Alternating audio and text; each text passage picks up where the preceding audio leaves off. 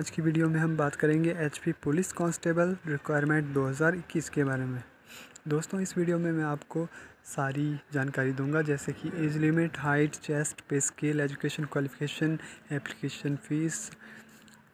दोस्तों, वीडियो को अंत तक देखते रहिए ताकि आपको सारी जानकारी मिल सके। चलिए वीडियो स्टार्ट करते हैं। दोस्तों, हिमाचल पुलिस में कांस्टेबल के तेरह सौ चौंतीस पदों को भरने की मंजूरी दी गई है। और इस बार इसमें इंटरव्यू भी रखा गया है। सिपाही भर्ती में इस बार भी अभ्यर्थियों को गुजरना होगा इंटरव्यू की प्रक्रिया से।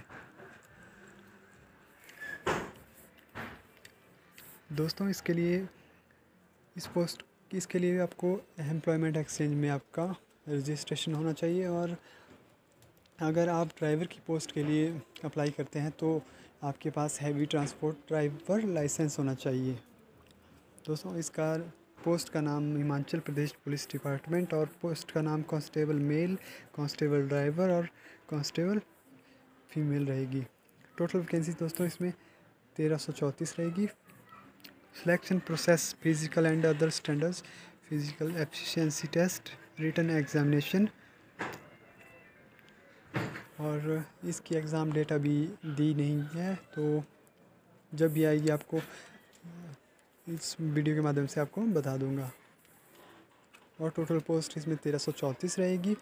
मेल की नौ सौ छिहत्तर, इक्यानवे पोस्ट जो है ड्राइवर की रहेगी और कांस्टेबल फीमेल की दो सौ सताठ पोस्ट रहेगी। दोस्तों एज लिमिट की बात करते हैं तो यहाँ पर जनरल के लिए 18 से 23 साल और एस सी के लिए 18 से 25 साल और ओबीसी के लिए 18 से 25 साल गोरखास के लिए 18 से 25 साल उम्र रहेगी। एज होम गार्ड के लिए 20 से 28 साल रहेगी जनरल और ओ के लिए और एस सी के लिए 20 से 28 इसके लिए भी। और हाइट की बात करते हैं तो जनरल कैटेगरी के लिए पाँच से छः, फीमेल के लिए पाँच से दो पाँच फुट दो इंच। एस सी के लिए पाँच चार फीमेल पाँच ओ के लिए पाँच छः और फीमेल के लिए पाँच दो।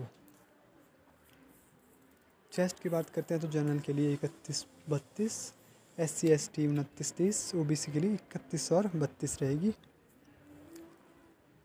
पे स्केल की बात करते हैं तो यहाँ पर आपको पाँच हज़ार नौ सौ दस रुपये बीस हज़ार दो सौ रुपये और ग्रेड पे आपका उन्नीस सौ रहेगा।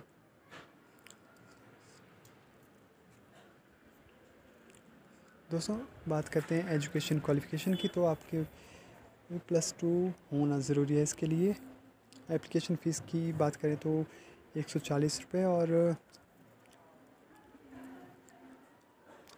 एस सी एस टी के लिए thirty five rupees O B C के लिए थर्टी फाइव रुपीज़ रहेंगे।